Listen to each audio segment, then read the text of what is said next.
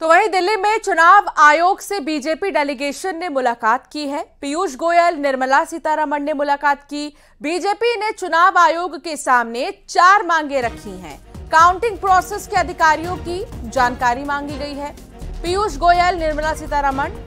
ने चुनाव आयोग से मुलाकात की है और साथ ही ये तस्वीर आप देख रहे हैं उस वक्त की ही, जैसे ही वो पहुँचे, चुनाव आयोग और फिर चुनाव आयोग से मुलाकात की गई है, दफ्तर जब वो पहुँचे, ये डेलीगेशन भारतीय जनता पार्टी का पीयूष गोयल को आप देख सकते हैं और साथ ही आप निर्मला सीतारमण को भी देख सकते हैं, जिन्होंने चुनाव आयोग से मुलाकात की और चार मांगे रखी गई हैं।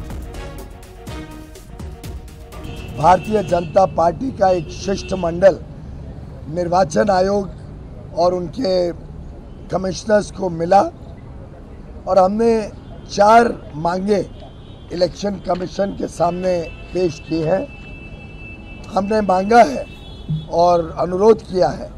माननीय इलेक्शन कमीशन से कि वो सभी अधिकारी जो काउंटिंग प्रोसेस में लगे हुए हैं उनको पूरी तरीके से काउंटिंग प्रोसेस की जानकारियाँ दें, उनकी ट्रेनिंग अच्छी तरीके से की जाए, और छोटी से छोटे विषय जो काउंटिंग प्रोसेस के साथ जुड़ा हुआ है, उसको बड़े गंभीरता से, गहराई से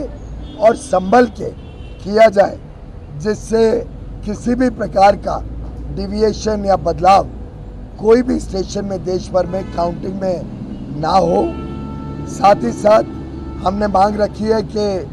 जो काउंटिंग प्रोसेस है और उसमें जो लोग जुड़े हुए हैं, जो डेढ़ करोड़ अधिकारी पूरे इलेक्शन प्रोसेस में जुड़े थे, उसमें से जो लोग काउंटिंग में जुड़े हैं, उनकी और सभी काउंटिंग एजेंट्स की भी सुरक्षा